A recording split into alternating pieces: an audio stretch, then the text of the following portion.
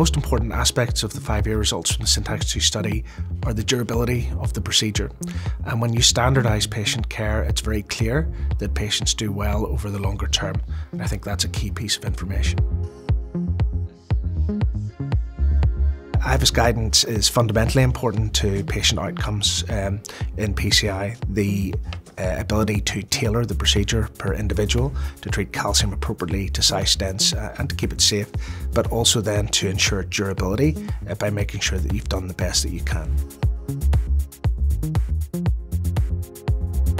Physiology is very impactful for patients as well. I mean, we've known historically for a long time that if we just use angiograms to assess lesions, that we're going to get it wrong about a third of the time.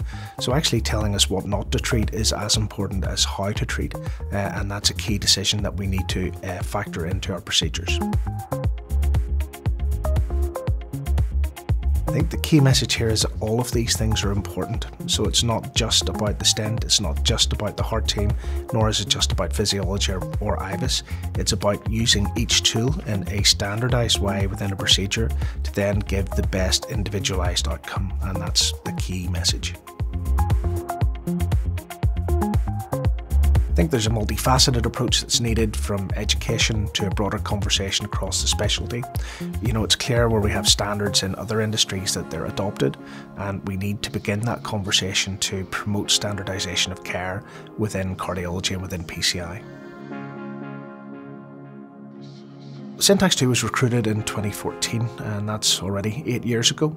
And if I think back to all of the patients that we enrolled in Belfast, I would do the procedures differently now. And I think pre imaging really would be fundamentally more important than maybe a little bit of IVUS endorsement. So I still think there's plenty of room for improvement in the day to day practice of what we do. And it's really important that we standardise care for patient outcomes. Modern PCI for me is adopting the Syntax 2 template. It's taking all of the clinical information that we have, it's taking all of the tools that we have available to us, it's applying them in a structured and sensible way to standardise patient outcomes and ensure that they do the best over the longer term.